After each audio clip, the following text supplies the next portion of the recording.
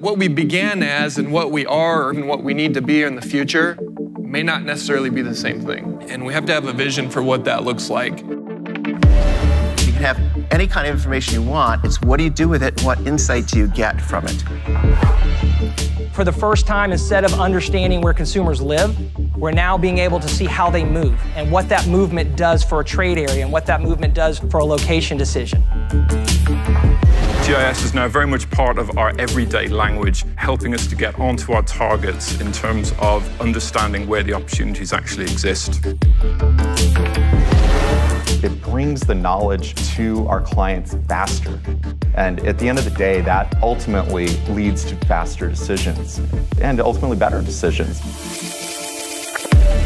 The way that we move people and goods from point A to point B is going to change dramatically. And I'm not talking 20 years out. This is happening now.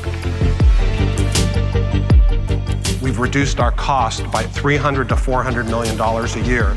You don't need to make huge changes to make a large impact. Look at little things. Little things matter.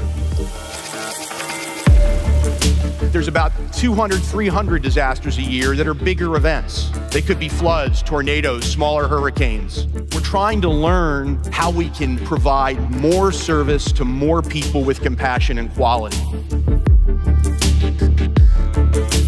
It's people's lives, it's families, it's their property.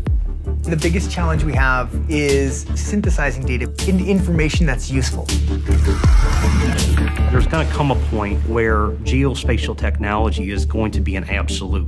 Given that everything that we do is 100% location based, it just makes sense that technology be leveraged.